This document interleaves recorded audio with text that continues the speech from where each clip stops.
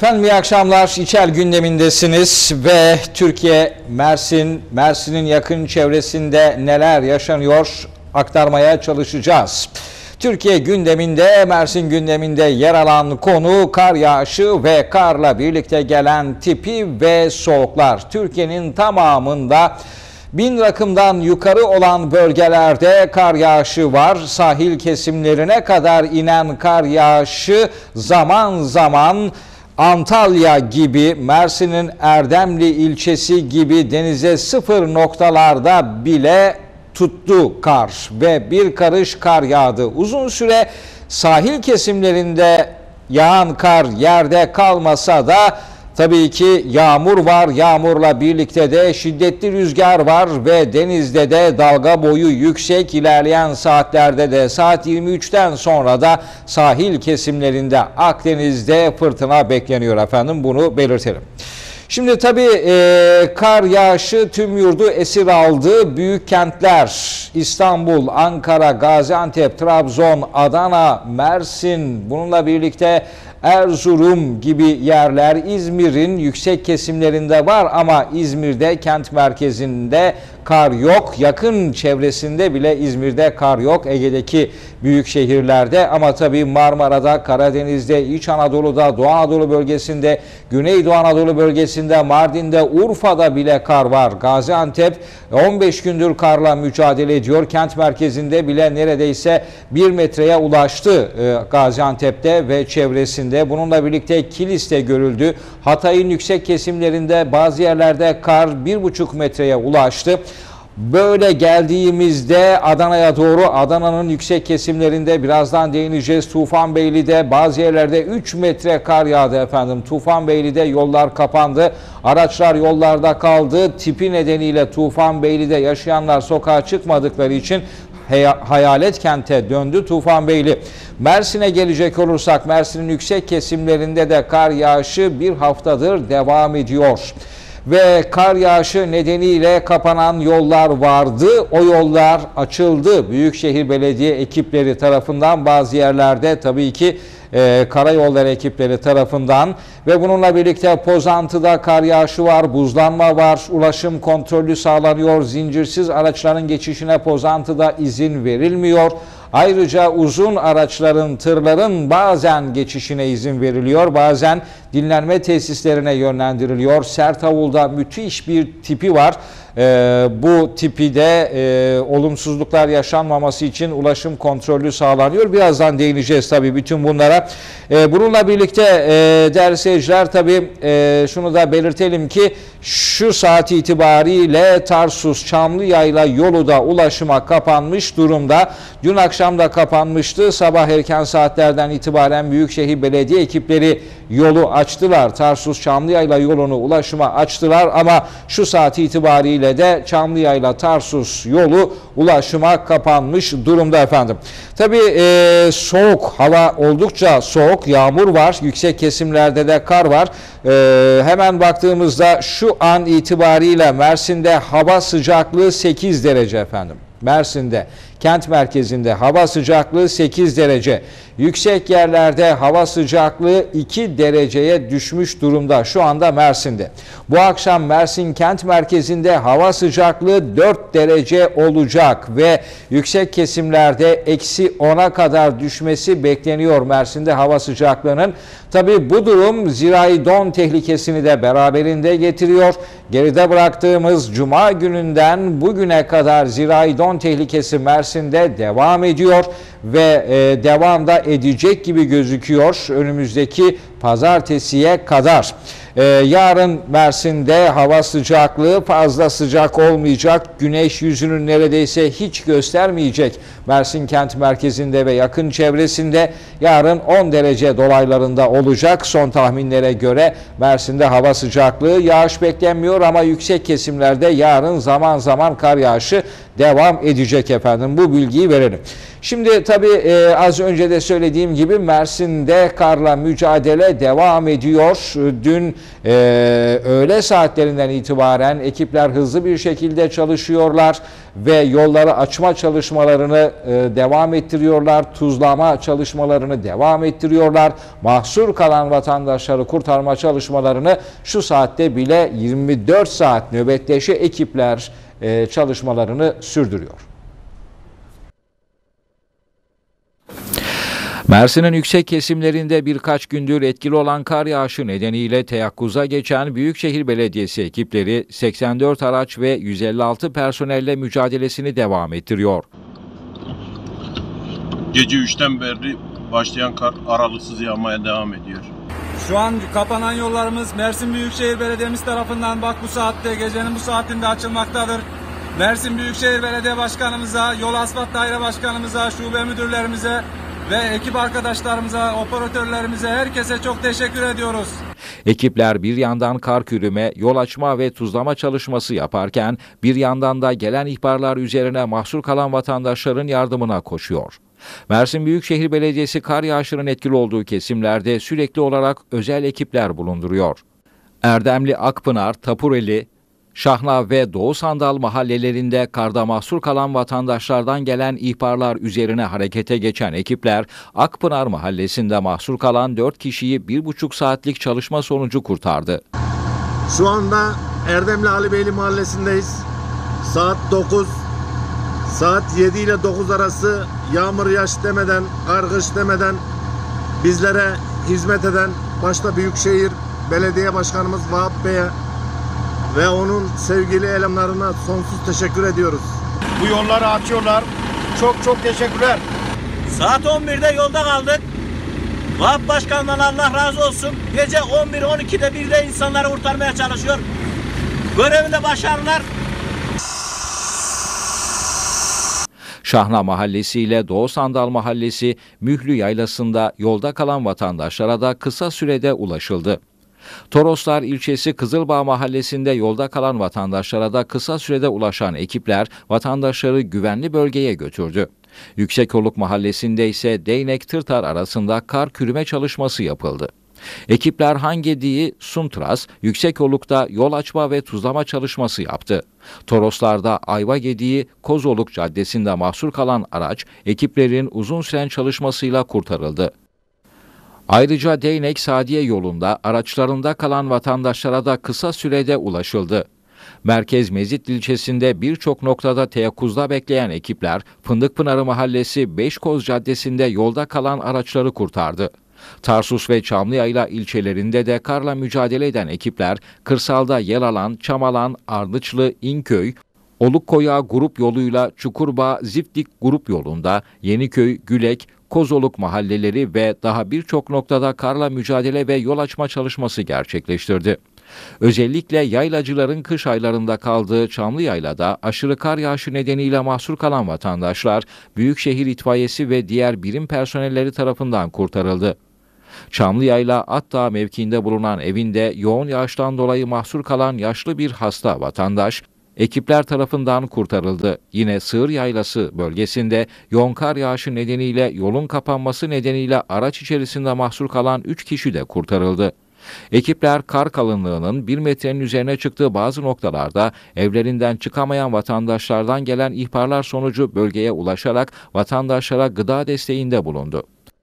Arslanköy Çatak, Başpınar Yedigöz bağlantı yolu da vatandaşların ulaşımına açıldı. Şimdi buradan Mut'a uzanalım. Az önce de söylediğim gibi Mut ilçesinde Sertavul'da Sertavul geçidinde tipi var. Kar yağışı devam ediyor. Ekipler yolu açık, tut, açık tutmak için çaba harcıyor. Bununla birlikte tabii ki Sertavul'dan zincirsiz araçların, çekme halatı bulunmayan araçların ve takozu olmayan araçların, kış, lastiği olmayan araçların geçişine izin verilmiyor. Zaman zaman tonajlı ve uzun araçların geçişine izin veriliyor. Ee, Sertavul'a bir bakalım efendim. Mersin'in Mut ve Gülnar ilçelerinde gece saatlerinde başlayan kar yağışı devam ediyor. Mut ilçesinde yağış ilçe merkezi ve İç Anadolu bölgesini Akdeniz'e bağlayan Sertavul geçidinde etkisini arttırdı. Sertavul geçidinde karayolları ekipleri yolun ulaşıma kapanmaması için çalışmalarını aralıksız devam ettiriyor. Trafik ekipleri de zincirsiz ve kar lastiği bulunmayan araçların geçişine izin vermiyor. Mut ilçesinin yüksek kesimlerinde kar kalınlığı 40 santimetreye ulaştı. Yine Mut ilçesinde ve Gülnar ilçesinde de e, yolları açma çalışmaları devam ediyor. Birçok mahallenin e, kent merkeziyle ulaşımı kar yağışı nedeniyle aksadı. İşte e, ekipler yolları temizlediler, yolları açık tutma çalışmalarına devam etseler de şu anda gelen bilgilere göre e, Mut ilçesinde bazı köylerle ve Gülnar ilçesinde kent merkeziyle bazı köyler arasında ulaşım kapanmış durumda kar yağışı nedeniyle ama ekipler e, neredeyse o kapanan yolları açtı açacaklar çünkü çalışmalar sürekli devam ediyor o bölgede de. E, Pozantı'yı da hatırlatalım efendim. Pozantı'da da kar yağışı var, tipi var, buzlanma var. E, ekipler e, tuzlama çalışmalarını devam ettiriyorlar. Trafik ekipleri kontrollü bir şekilde ulaşımı sağlıyor. E, bu bilgiyi e, aktaralım. Tabii e, havaalanı İstanbul'da İstanbul Havaalanı ulaşıma kapatılmıştı. Şimdilerde şu saat itibariyle e, açılmaya başlandı yavaş yavaş. O nedenle Türkiye'nin birçok noktasından İstanbul'a seferler istenildiği sayıda olmuyordu. O nedenle neredeyse tüm Türkiye'de hava ulaşımı durmuş durumdaydı. Hatta bugün sabah saatlerinde İstanbul'da özel araçların trafiğe çıkması da yasaklanmıştı. Sadece toplu taşıma araçları e, ve görev alması mecbur olan sevkiyat yapan araçlar İstanbul'da trafiğe çıkacak diye bir kural getirilmişti. Bu kural biraz hafifletildi ama İstanbul'da hala kar yağışı devam ediyor. Bunu belirtelim. Ee, aynı zamanda e, Gaziantep'te de zaman zaman e, kar yağışı hızlandığı saatlerde özel araçların çıkışına trafik ekipleri bazı yerlerde izin vermiyorlar. Bu bilgiyi de aktaralım değerli seyirciler. Şimdi efendim e, tabi buradan Mersin'den e, Adana'ya uzanalım. Adana'da da kar yağışı var. Adana'da kent merkezinde de şu anda hava soğuk. Adana kent merkezinde şu anda hava sıcaklığı 8 derece ile 7 derece arasında e, gidip geliyor. Ayrıca Adana'nın yüksek kesimlerinde de hava sıcaklığı eksi 27 dereceye kadar düşüyor. Örneğin Tufanbeyli'de. Tufanbeyli'de e, neredeyse 15 gündür şiddetli kar yağışı var, tipi var. Tufanbeyli 27 dereceyi bile geride bıraktığımız hafta gördü ama bugün eksi 25 dereceydi Tufanbeyli ve kar 1 metreyi geçti. Adana'nın Tufanbeyli ilçesinde kar yağışının ardından başlayan Tipi'de hayat olumsuz etkilenirken bir işçi servisi de yolda kaldı. Çok teşekkürlerimizi sunuyoruz. Allah razı olsun. Sağ olun, var olun. Tufanbeyli'de kar yağışının ardından hava sıcaklığının eksi 25 dereceye düşmesi hayatı olumsuz etkiledi. Tufanbeyli halkı soğuk havayla mücadele ederken tipi çıktı ve yaşanan güçlüğü iki katına çıkardı. Tipi nedeniyle vatandaşlar sokağa çıkamazken Tufanbeyli bu nedenle terk edilmiş bir şehre dönüştü. Bir işçi servisi aracı da tipi nedeniyle yolda kalınca yardımına belediye ekipleri yetişti. Başka bir servis aracıyla işçiler iş yerlerine taşındı.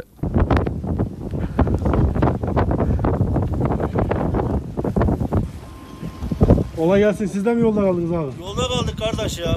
Allah yardım bekliyoruz. e, Grederi bekliyoruz. Karayollarından gelirse götürecek ve gelmezse burada kalacak.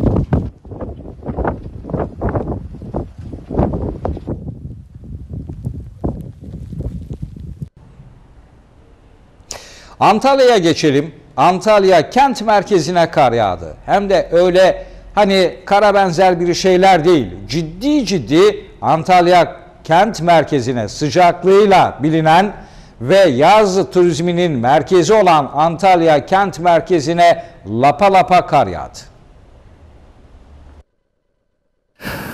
Antalya şehir merkezine 29 yıl aradan sonra kar yağdı. Tüm yurdu etkisi altına alan soğuk hava Antalya'da da etkisini gösterdi. Gece boyunca sulu bir şekilde yağan kar sabah saatlerinde yerini lapa lapa yağışa bıraktı.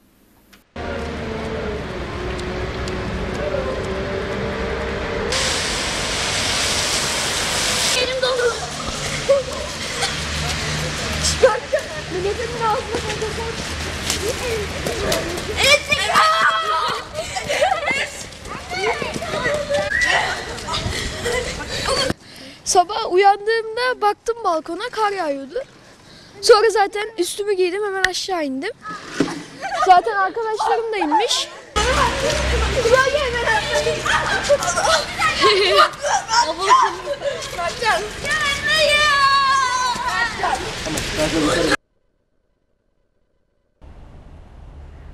Evet Antalya kent merkezine de kar yağdı. Şimdi e, tabii tüm Türkiye'de kar yağışı var, soğuklar var, zirai don var. Peki üreticilerin durumu nedir? Çiftçilerin durumu nedir? Açık bahçelerde sebze meyve yetiştirenlerin durumu nedir? Seralardaki durum nedir? Tüm bölgelerde seralarda sobalar yakılıyor ve zirai don nöbeti tutuluyor. Açık bahçelerde de yine sobalar yakılıyor, ateşler yakılıyor ve çiftçi ürününü koruma derdinde. Bazı yerlerde bunu başarıyor, bazı yerlerde başaramıyor. Dolayısıyla tüm Türkiye'de sebze meyve üretiminde mevsim itibariyle bir düşüş var. Olumsuz hava şartları nedeniyle. Hasat edilen ürünler bile seralardan, bahçelerden Türkiye'nin dört bir tarafına gönderilemiyor. Çünkü yollar kapalı. Yollar açık olsa bile şiddetli soğuklar nedeniyle sevkiyatı yapılan sebzeler ve meyveler yolda donabiliyor. Dona uğradığı zaman da ekonomik değerini kaybediyor, çürüyor sebzeler, meyveler. E tabi e, Antalya e, hali e, ülkemizdeki en önemli hallerden biri. Antalya haline giren sebze meyve miktarında da bir düşüş var ve fiyatlar da yükseldi. Yurt genelinde etkili olan soğuk ve dondurucu hava örtü altı üretim üssü Antalya'da sebze meyve toptancı halini de etkiledi. Soğuk hava dolayısıyla hale gelen ürün miktarı %50 oranında azalırken ürünlerin fiyatları da %50'ye yakın yükseldi. Şehir dışına ürün taşıyan birçok tırsa yolların karlı olmasıyla hareket edemedi. Şimdi halimize gelen ürünlerde aşağı yukarı bir %50'lik azalma var. Bundan dolayı da fiyatlarımız yükseldi. Keşke fiyatlarımız yükselmese de e, tonajlarımız aynı kalabilseydi. Biliyorsunuz şu anda her gele çiftlerimiz soba yakmakta. Bunlar e, girdi maliyetlerini yükseltmekte zaten. E, bir ton topluyorsa, şimdi bir haftada bir ton topluyorsa, şimdi 15 günde 5 kiloya düşmüş durumda toplanan sebzelerin e, kilogramı. Bu da ister istemez fiyatlarımızın yükselmesine sebep olmakta. Siz sanmayın ki bu fiyatlar yükseldiğinde çiftimizin cebine daha fazla para giriyor. Şu anda düşük gittiği dönemden yükselmesine rağmen daha az para giriyor. Çünkü üretim aşağı yukarı üçte bir nazarında düşmüş durumda ve toplama süreleri uzamış durumda. Bundan dolayı fiyatlarımızın yükselmesi normal. Öte yandan Antalya'dan diğer şehirlere ürün taşıyan tırlarsa yolların kapalı ya da karlı olması nedeniyle halden çıkış yapamayarak beklemeye başladı. Antalya dışına gidecek olan tırlarda ürünlerse kağıtlarla koruma altına alındı.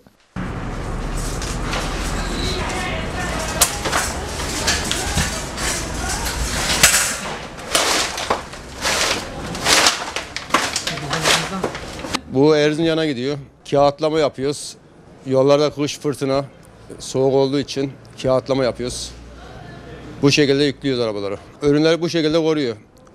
Yani kağıtladığımız halde yine de zorluklar var yolda. Yine de donalıyor yani. Arkadaşlar soğuk havayla zaten üretici malum sezon başından beri zaten girdiler yüzde 150, yüzde 200, yüzde 300 arttı zaten girdi maliyetleri. Üretici her geçen gün serasından uzaklaşıyor. Yani üretici bu kadar binlerce dönüm dekar serayı ısıtmak zorunda arkadaşlar. Değilse buraya ürün getiremez. Şu anda bir hafta 10 gündür soğukla, yoğun bir biçimde soğukla mücadele ediyor üretici. Bunun altından nasıl kalkarım? Sattığı ürün fiyatla girdi maliyetler tam ters oranda ilerliyor. Üretici de şaşırmış durumda yani bu fiyat artışlarının yok ürün yok şu soğuktan dolayı ürün de gelmiyor. %60 eksilme var hale giren üründe. Çok zor yani. Yollar kapalı, kar buz her taraf. Arkada insanlar herkes can derdine düşmüş. Yok ürün yok çiftçinin elinde. 5 dönümden e, kabak ürettim. Kabak çıkardı, çıktı. 5 dönüm yerde 3 günde 500 kilo kabak topluyoruz.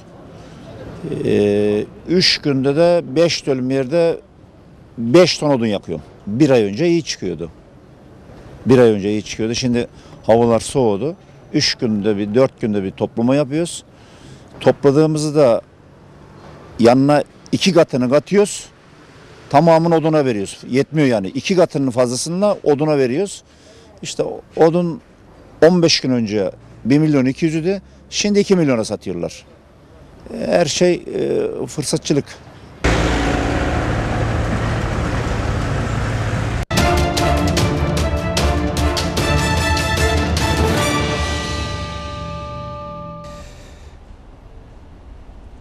Şimdi efendim e, Antalya halini verdik. Orada e, iş yeri sahipleri konuştular, üreticiler konuştular. Şimdi bugün ekiplerimizi Mersin haline de gönderdik. Ekibimizi ve orada iş yeri sahipleriyle, komisyoncu, sevkiyatçı, hal esnafıyla e, ve tarz e, üreticilerle bir e, görüşsünler. E, ve e, Mersin'de durum nasıl? Mersin haline e, gelen ürünlerde bir azalma var mı? Fiyatlarda bir yükselme var mı diye bilgi almak istedik ama kimse konuşmadı. 15 iş yerine giden ekiplerimiz e, hiçbir iş yeri işletmecisinin ya da orada çalışan kişinin konuşmadığını söylediler. Yani Mersin halinde esnaf mikrofonlara, kameralara konuşmadı. Mersin halinde fiyatlar nasıl? Yükseldi mi bu 1-2 günde kar yağışı nedeniyle? Mersin halinden e, Türkiye'nin en büyük hali, Avrupa'nın en büyük hali, Türkiye'ye dağılan sebze meyvede bir azalma var mı? Mersin haline gelen ürünlerde bir azalma var mı? Bununla ilgili Mersin hal esnafı konuşmadı. Konuşan Antalya esnafını tebrik ediyorum ve dolayısıyla o haberi sizlere verdik. Şimdi efendim devam edelim. Adana'ya gidelim. Adana'da ilginç bir olay yaşandı. Bir sürücü otomobiliyle seyir halindeydi. Direksiyon başındayken fenalaştı ve bayıldı ve sonrasında da otomobili bir polis aracına çarparak durabildi. Han Ordu Caddesi'nde otomobiliyle seyir halindeki bir sürücü direksiyon başında fenalaşarak bayılınca yol üzerindeki polis aracına çarptı. Polis aracını 50 metre sürükledikten sonra duran araçtaki baygın sürücüye ilk müdahaleyi olay yerindeki polisler yaptı. Kaza yerine gelen sağlık ekipleri sürücüyü Seyhan Devlet Hastanesi'ne kaldırdı.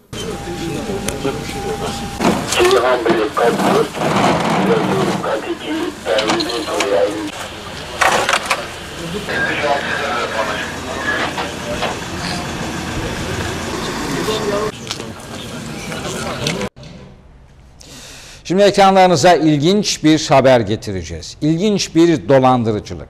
Şimdi konu tabii haberin içerisinde bir de ben açıklayayım. Bir vatandaş, bir kişi dolandırıcı mağazaları, iş yerlerini dolandırıyor. Çok katlı yerleri dolandırıyor. Nasıl dolandırıyor? İş yerine giriyor. İş yerinin ikinci, üçüncü katından ya da bodrum katından bazı ürünleri alıp çantasına koyuyor. Sonra o ürünleri kasaya getiriyor. Sanki birkaç gün önce ya da birkaç saat önce o ürünleri almış gibi gösterip o ürünleri iade ederek parasını alıyor. Bazı iş yerlerinde başarılı olmuş, parayı almış, haksız para almış, kaybolmuş ama bazı iş yerlerinde de başarılı olamamış. Nihayetinde akıllı bir esnaf sayesinde ve kendisinin hatası sayesinde yakalanıyor. Antalya'nın Manavgat ilçesinde bir iş yerine gelen AGÇ, iş yerinin ikinci katından seçmiş olduğu ürünlerle kasaya gelerek sanki daha önce almış gibi ürünleri iade ederek parasını aldı. Kasada nakit parası olmadığı için AGÇ'nin hesap numarasına parayı havale yapan mağaza sahibi durumdan şüphelenip güvenlik kameralarını izlediğinde gerçeği öğrendi. AGÇ'nin Manavgat'ta başka iş yerlerinden de aynı yöntemle dolandırıcılık yaptığı ve bazı iş yerlerinde ise amacına ulaşamayarak ayrıldığı belirlendi. Çarşamba günü aklımıza gelmeyecek bir olayla karşılaştık. Burada müşterimizin biri geldi. Ee, arkadaşlarım beni çağırdığında iade ve birkaç tane ürünü var ve iade alınmadığını, cuma günü eşinin getirdiğini ve e, hakaret edilip iade alınmadığını söyledi. Ben geldikten sonra olaya ben müdahil oldum ve e, ürünlerin iade iade işlemi ile ilgili e, kasamıza baktık. Ürünlerin bizim olduğunu anladıktan sonra ürünleri iade aldık. Eşiyle ilgili olan kısmını da çözeceğimizi söyleyip kendisine dönüş yapacaktık. Ama kasada yeterli nakit paranın olmadığı için hesabına havale yaptık bu ücreti. Ee, daha sonrasında da ürünleri kontrol ettiğimizde yukarıdan üst kattan mağazanın üst katından ürünleri alıp aşağı getirip iade ettiğini gördük ve bu kişi hakkında şikayetçi olduk. Şikayetçi olduktan sonra numarasına ulaştık, kendisine ulaştık. Hesap numarası olduğu için bizde. Kişiyle irtibata geçtik. Daha sonra e, şikayetçi olacağımızı kendisine ve babasına ulaştığımızda şikayetçi olacağımızı söyledik. Ve kendisi ertesi gün parayı bize gönderdi. Ya biz mağdur olduk bu durumda. Başkası mağdur olmasın. Ya herkes bu kişileri bu şekilde bilsinler.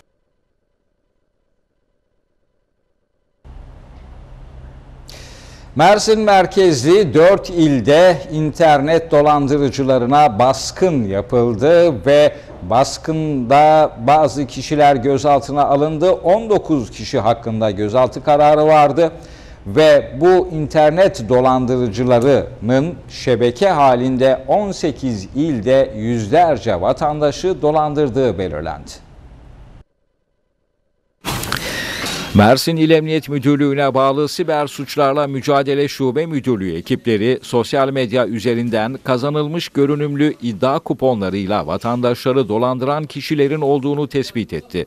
Sosyal medya hesaplarını takip alan ekipler şahısların kazanma garantili yasal iddia kuponu yaptıklarına dair ilan verdikleri ardından özel mesajlarla iletişim kurdukları vatandaşlardan programla kazanmış gibi hazırladıkları sahte kuponlar üzerinden paranın vergisi adı altında para talep ederek dolandırıcılık yaptıklarını belirledi. Ekipler şüphelilerin bu yolla 18 ilde çok sayıda kişiyi dolandırdıklarını tespit etti. Şüphelilerin tamamını belirleyen ekipler 100 polisin katılımıyla Mersin Merkez, Batman, Adana ve Hatay'da 19 adrese şafak operasyonu yaptı. Terörle Mücadele Şube Müdürlüğü ekiplerinin de destek verdiği baskınlarda çok sayıda kişi gözaltına alınırken yapılan aramalarda ele geçirilen suç aletlerine de el konuldu. Gözaltına alınan kişilerin emniyet işlemleri devam ediyor.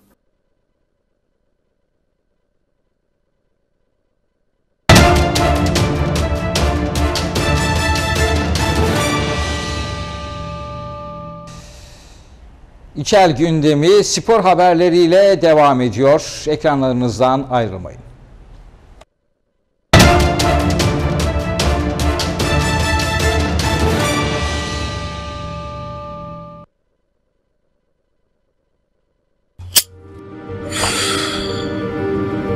Sigara solunum yolunu tahrip eder. Koronavirüse kapı açar.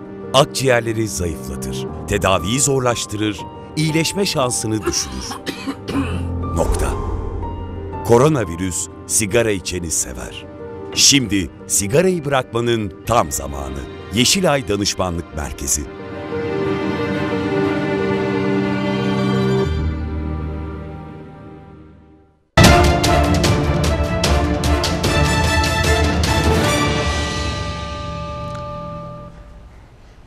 Günün öne çıkan önemli spor gelişmeleriyle sizlerle birlikteyiz. Tabii öncelikle bir son dakika gelişmesiyle haberlerimize başlayalım. Bölgesel amatör liglerle alakalı bir karar açıklandı. Şu anda da ekranlara geliyor. Yapılan açıklamada 29-30 Ocak 2022 tarihinde oynanacak olan 2021-2022 futbol sezonu Bölgesel Amatör Ligi 2. devre 1. hafta müsabakaları tüm yurt genelinde yaşanan yoğun kış şartlarından dolayı lig fikstürünün tamamı kaydırılarak ikinci devre birinci hafta müsabakaları 5-6 Şubat 2022 tarihlerinde oynanacaktır denilmiş. E, tabii bu hafta sonu başlanması bekleniyordu. Özellikle şampiyonluk adaylarından e, bizim de temsilcimiz Silifke Belediyespor Antalya'da bir kamp süreci geçirmişti. E, bir hafta daha beklemek zorunda kalacaklar. Tabii önce sağlık diyoruz. Zira e, hava şartları Türkiye'de birçok spor e, müsabakalarının da ertelenmesine neden olmuştu. İlk haberimizde bir erteleme kararı e, Türkiye Futbol Federasyonu ikinci lig maçlarında yarın oynanması gereken kırmızı grup ve beyaz gruptaki tüm maçların ertelendiğini duyurdu. Spor Toto 2. Lige kar engeli geldi. Türkiye Futbol Federasyonu 26 Ocak'ta oynanacak olan 2. Lig'deki tüm maçların hava muhalefeti nedeniyle ileri bir tarihe ertelendiğini duyurdu. Hafta sonunda da kırmızı grupta yer alan Soma Spor, Adıyaman Spor ve Van Spor, Afyon Spor maçları yoğun kar yağışı nedeniyle ertelenmişti. Hava şartlarına göre hareket edecek olan federasyon tüm maçları 30 Ocak tarihinde oynatmayı planlıyor.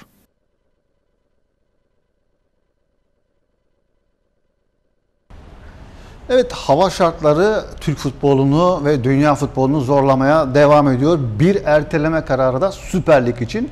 Bu kez hava şartlarından dolayı değil, e, önümüzdeki Aral- Kasım ve Aralık aylarında oynanacak olan Katar'daki Dünya Kupası öncesinde Güney Amerika elemeleri var ve bundan dolayı da Türkiye ligleri bir hafta ertelendi. 4 Şubat'a kadar maç yok. Süper Lig'e milli ara verildi. Süper Lig Ahmet Çalık sezonunda hafta sonu oynanan maçlardan sonra Dünya Kupası Güney Amerika elemeleri için liglere bir hafta ara verildi. Ligde ise lider Trabzonspor hafta sonu deplasmanda Galatasaray'ı 2-1 yenerek puan farkını korudu.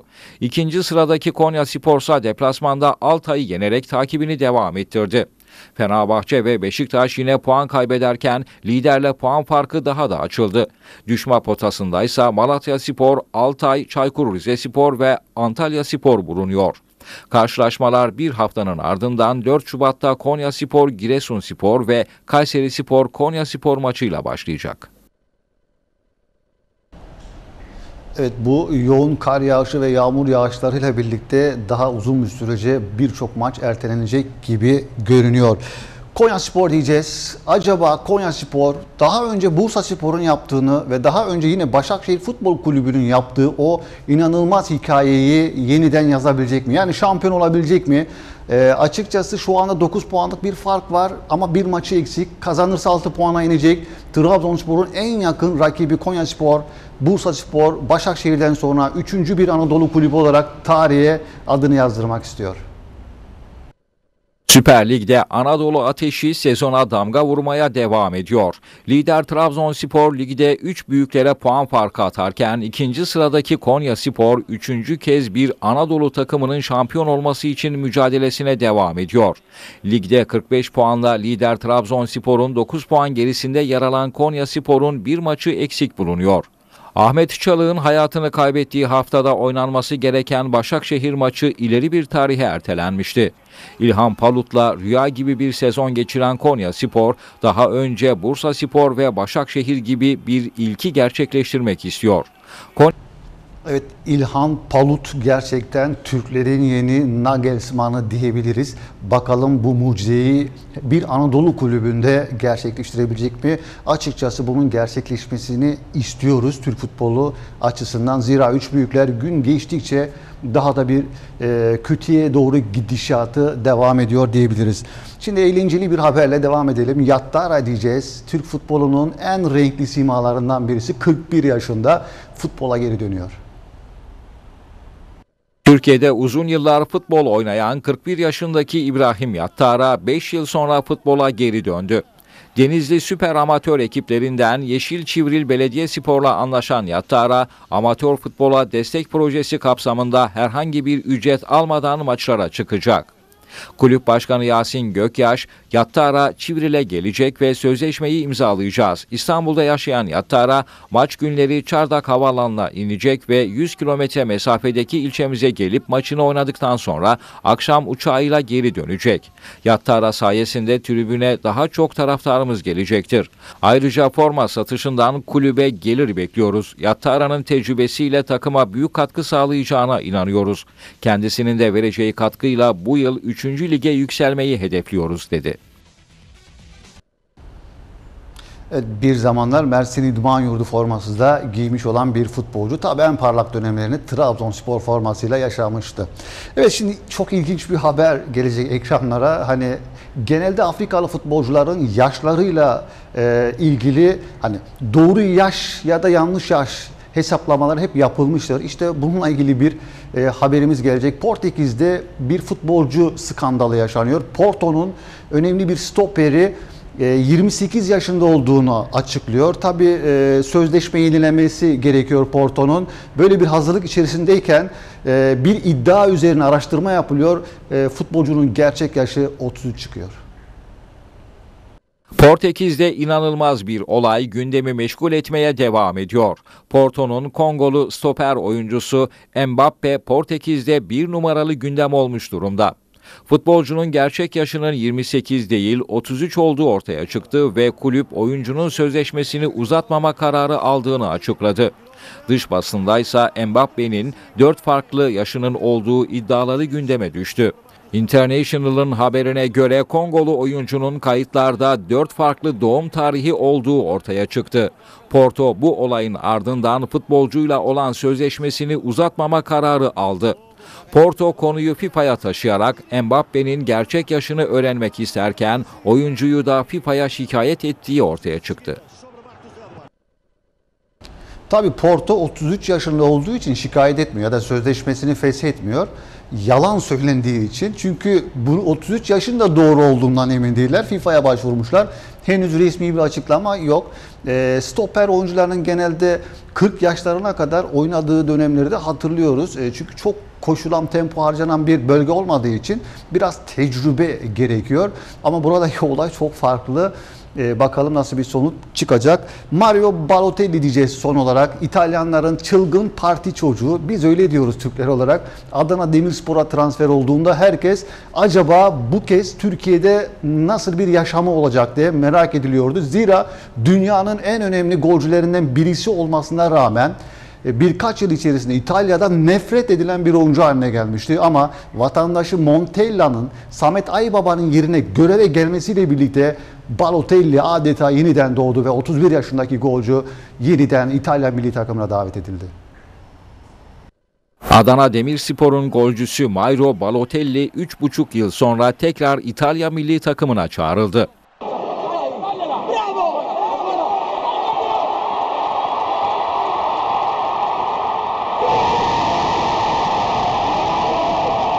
Dünyaca ünlü İtalyan yıldız Adana'da yeniden form yakalarken bu formunu milli takıma dönerek taçlandırmış olacak. Şu ana kadar ligde 8, kupada 1 gol atan Balotelli eski günlerine dönmüş durumda. Adana Demirspor Kulübü sosyal medya hesabından yapmış olduğu açıklamada yıldız futbolcumuz Mauro Balotelli 3,5 yıl aradan sonra yeniden İtalya milli takımına çağrıldı. Oyuncumuza milli takımında başarılar dileriz sözlerine yer verildi.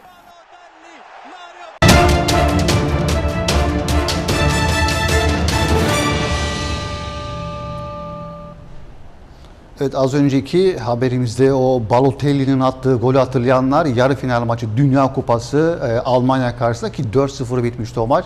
Balotelli o maçta 2 gol atıyor ve o maçtan sonra kulüp başkanı bir açıklama yapmıştı. Balotelli'yi almak istiyorsanız 100 milyon euroyu gözden çıkartmanız gerekiyordu.